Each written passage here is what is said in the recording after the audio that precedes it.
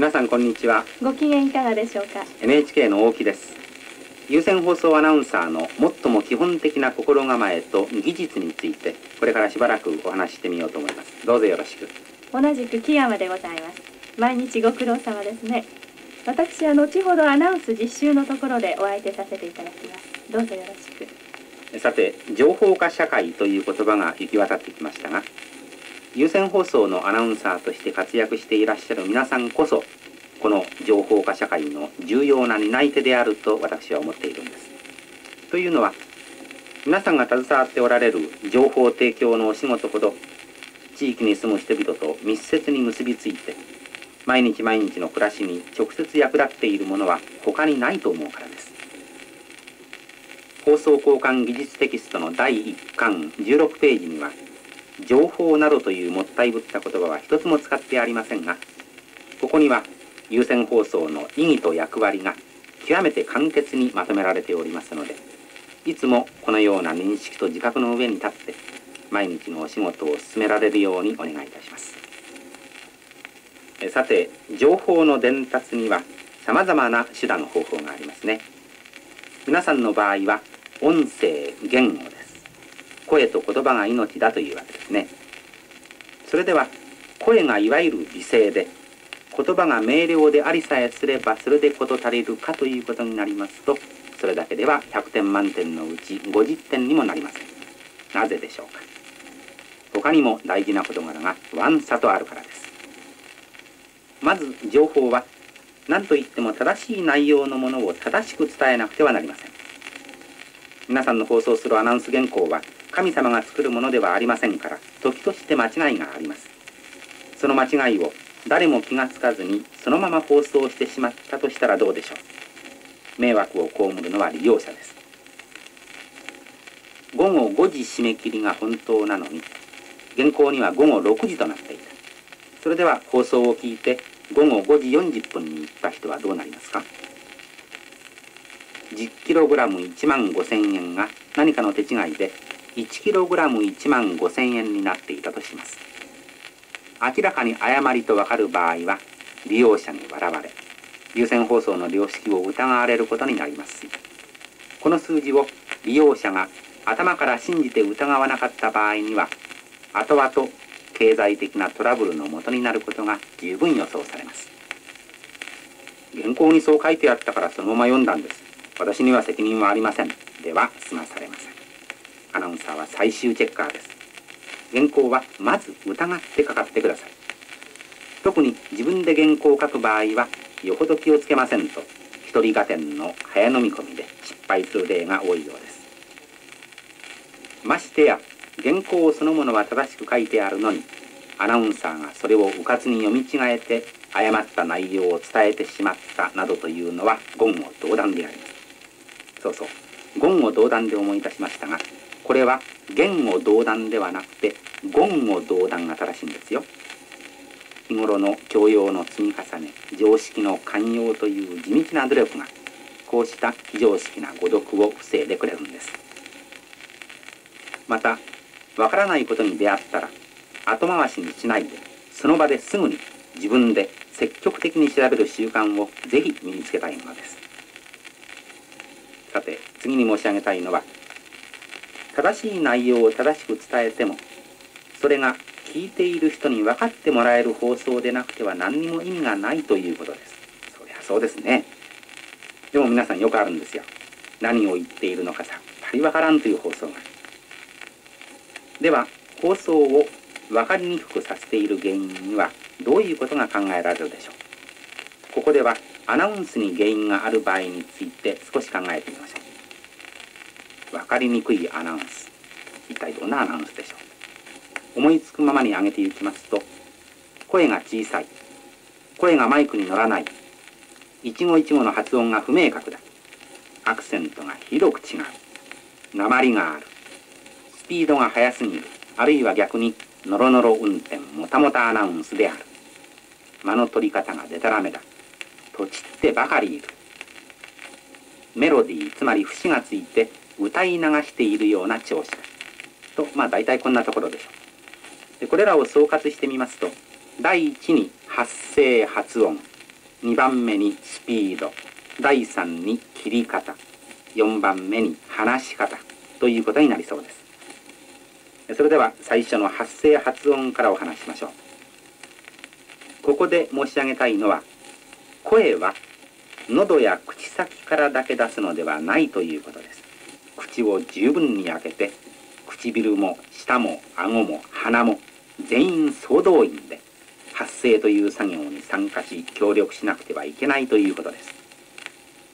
呼吸にしたって胸と肺だけに頼ってはなりません。女性にはとかく苦手とされている腹式呼吸お腹を使っての息遣いですね。この腹式呼吸の要領をよく飲み込んでください。そしてできるだけ大きな声をお腹のあたりから出せるように訓練するんです。33ページに口の体操が出ておりますが木山アナウンサーにちょっとやってもらいましょう。あえいうえおあおまめみむめもまもパペピプペポパポ。はい。この口の体操もろくに口を開けないでトゥトゥトゥトゥトゥトゥトとボソボソやっていたんでは効果がありませんから思い切って口を開き大きな声を出して正確に発音していただきます。さて次にスピードテンポについては30ページと49ページをよく読んでください。このスピードテンポということより大事なのはこの放送文章はどこで切るべきかまた切ってはならないところはどこかという切り方の問題ではないかと私は思っています。原稿に点が打ってあったから切りましたではいけないんです。原稿に打ってある句読点はひとまず白紙に戻して改めて話す立場聞く立場に立って点を付け直してください。良い例が61ページにあります。5行目から7行目までを原稿に打ってある句読点通りに読んでみましょう山さんお願いします。明日以後に調査員がいただきに参りますのでその時に提出してください。調査した内容については極秘に扱い皆さんに迷惑をかけないようにしますのでこの調査にぜひご協力ください。原稿に打ってある句読点通りにアナウンスするとこのようになりますがなんとなくおかしいですね。それでは今度は正しい点を打ち直してはいどうぞ。明日以後に調査員がいただきに参りますのでその時に提出してください。調査した内容については極秘に扱い皆さんに迷惑をかけないようにしますのでこの調査にぜひご協力ください。はい。これが正しい切り方ですね。前とよく比べてみてください。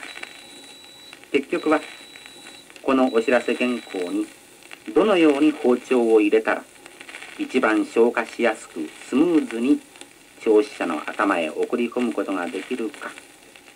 このことを絶えず頭に置いてください。自分の息が続く限り一気に喋りまくってきて苦しくなるとどこであろうとお構いなくプツンと切って一服してしまう。これでは文章の意味もヘチマもあったものではありません。聞いているお客さんを考えないアナウンス。これは一番不親切なアナウンスです。よろしいですか？息で切らずに意味で切る。息で切らずに意味で切るですね。絶対に忘れないでください。さて4番目は話し方の問題です。25ページ26ページそして59ページに要点が書いてありますので略しますが一つだけ申し上げておきたいのは皆さんのアナウンスは小学校1年生が国語の本を読んでいるのでもなければ大講堂にたくさんの聴衆を集めて政治家が大演説をしているのでもないということなんです。私がアナウンサー新人時代に先輩から教わったことをそのまま受け入れさせていただきますがその先輩はこう言いました。1対1の話という感じがつかみにくかったら自分が一番気軽におしゃべりすることのできる人おばあちゃんでもいい恋人でもいい弟いとこ中学時代の親友誰でもいいんですがその人の写真を手帳なり定期入れなりに挟んで持っているマイクロフォンに向かう時その写真をこっそりと取り出しその写真の人に向かって原稿を素材に話をしてごらんというんです。どうしても原稿を棒読みに読んでしまいがちな人や冷たいアナウンスだと言われる人は一度この方法を試してごらんなさい。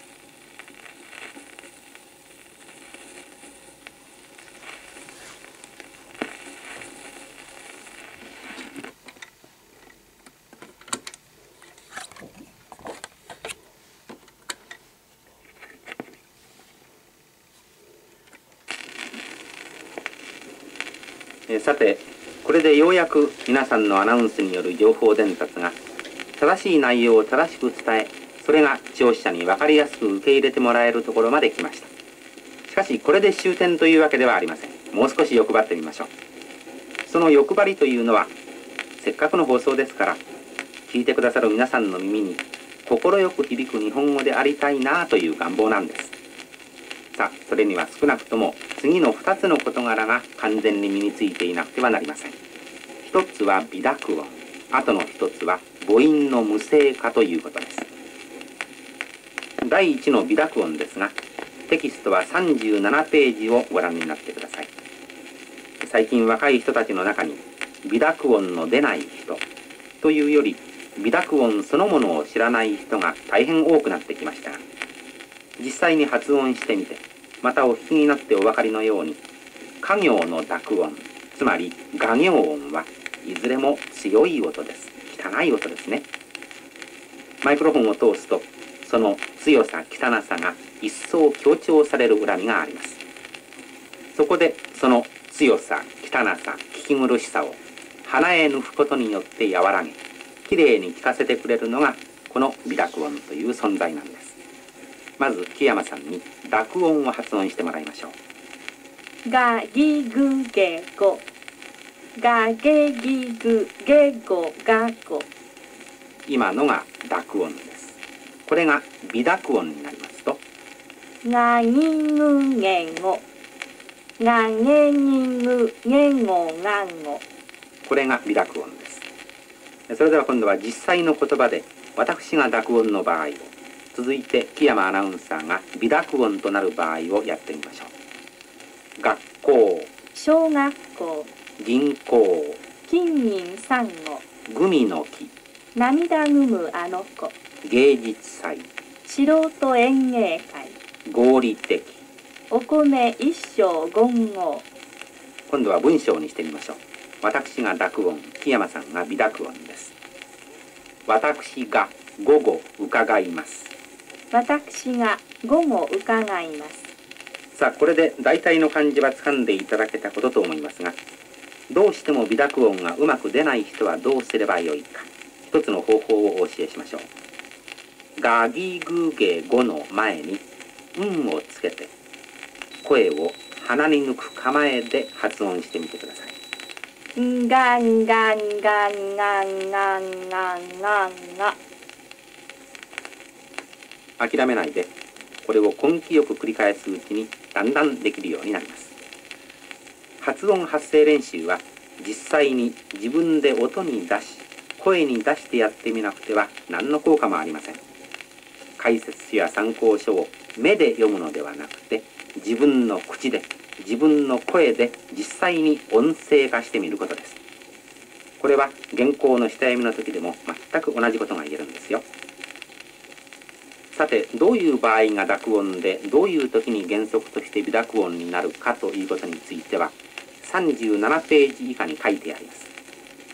そして濁音が第二音節以下にあっても1525のように微濁音にならないことがあるかと思いますと15や3355というように微濁音にしなければいけない場合もありますからなかなか面倒ですね。でも濁音微濁音の正しい使い分けがアナウンス全体の感じに極めて重大な影響を及ぼすことを考えますとこれは何としても皆さんにマスターしていただかなくてはなりません。では木山さんに微濁音ができないとこんな風にゴツゴツした感じになりますよという悪い見本をこれからやってもらいましょう。ポルトガル語がご専門の山形さんが言語学会議にご出席のため今月15日の午後ご状況になります。どうですか？今のゴツゴツした感じは？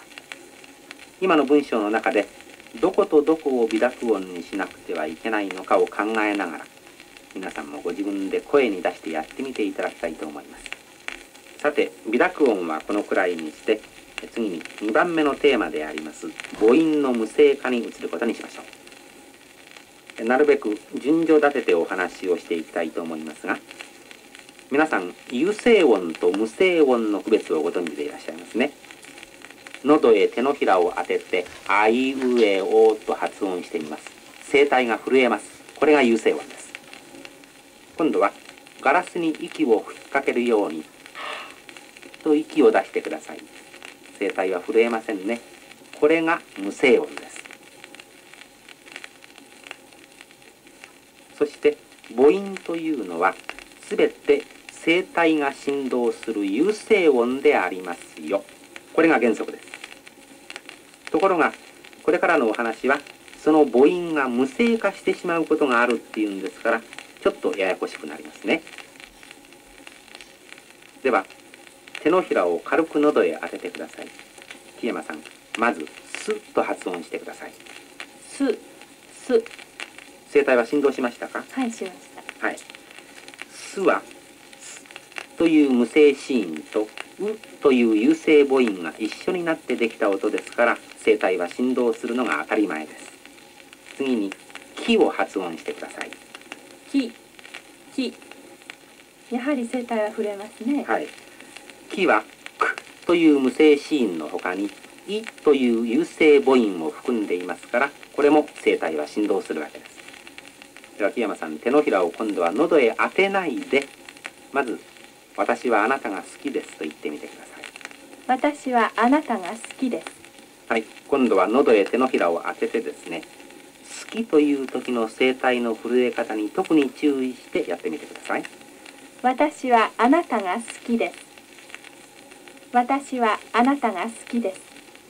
どうですか？何か変わったことはありませんでしたか？そうですね。あのさっき「す」と「き」を別々に発音した時は両方とも声帯が触れたんですけれども、はい。今「好き」と続けて発音してみますと「す」の時は声帯が振動しないで「き」の時だけ振動しました。はい、ということはある条件のもとではある種の母音は無声音となって声帯が震えない場合があるということですね。すに含まれる「う」という母音が無声化してしまう。これを母音の無声化と言っているわけです。そしてこの無声化が完全に行われることによってアナウンスが一層歯切れが良くなり爽やかな魅力あるものとなるわけです。ではどういう場合に母音の無声化が行われるのかという原則は39ページの下の段以降に触れてありますが基本的には口の開きの小さい母音「い」と「う」が無声子音の間に挟まれた時に無声化するというのが大原則であります。では木山さん母音の無声化の例をですね他に少し挙げてみてください。菊の花の木基礎工事の木薬の句遅刻の地机のつ少しのす風が吹くのふ。稲妻がピカリのピこれらみんな母音が無声化するんですね。そうですね。ですから一番わかりやすく言えば無声化の時はその子音についている母音を長く引っ張ってはいけないという捉え方でいいんでしょうか。はい。漢字としては大体そういう捉え方でいいと思いますついでにもう一つ申し上げますと無声子音に続く「い」あるいは「う」という母音が言葉の終わりにある時も無声化をすると。例えば「あります」の「す」「ございます」の「す」「です」の「す」「くださいます」の「し」「絵を描く」の「く」こういったのが、えー母音の無声化となるわけです、まあ、細かいことをいろいろ申し上げました。どれ一つとっても確かに重要なことなんですがしかしここは微濁音にしなくてはいけない。ここは母音の無声化だと部分的なことにだけとらわれすぎますとかえって放送文章全体を見失ってしまいそれこそ何を言っているのかさっぱりわからない放送になりかねません。ですからこのような技術的なことは日頃の勉強と練習の中に十分積み上げて徐々に自分のものとしていきいざ本番という時には細かいことはあまりこだわらずもっぱら内容の把握と分かりやすい伝え方に神経を集中されるのがよろしいのではないかと私は考えているのです。それでは今日はこの辺で失礼します。お元気で。皆さん頑張ってくださいね。さようなら。